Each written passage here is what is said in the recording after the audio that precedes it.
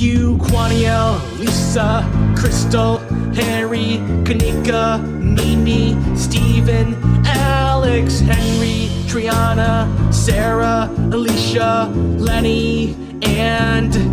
that